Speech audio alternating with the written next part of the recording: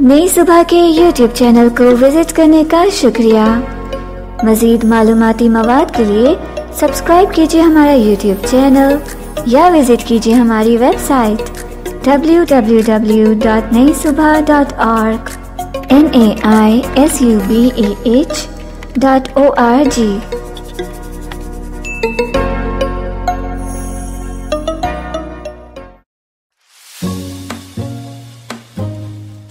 नई सुबह के इंडिपेंडेंट लिविंग प्रोग्राम के ऑडियो लर्निंग ट्यूटोरियल्स के साथ मैं हूँ शायान। आज हम बनाने जा रहे हैं आलू बुखारे का शरबत। आलू बुखारे के शरबत को बनाने के लिए जिन अज्जा की हमें ज़रूरत है, उनमें शामिल है एक लीटर पानी, एक पाव आलू बुखारा, चीनी हसबे जायका, काला नमक हसबे जायका। तरकीब, एक लीटर पानी में एक पाव आलू बुखारे को अच्छी तरीके से उबाल लें। उबालने के बाद इसमें से गुठलियाँ अलग कर लें। और फिर इसमें चीनी और नमक शामिल करके इसको अच्छी तरीके से ग्राइंड करें, ठंडा होने पर सर्व करें और इंजॉय करें। ये थी हमारी आज की रेसिपी अब आपसे दोबारा मुलाकात होगी किसी नई रेसिपी के साथ। तब तक के लिए अल्लाह हाफिज।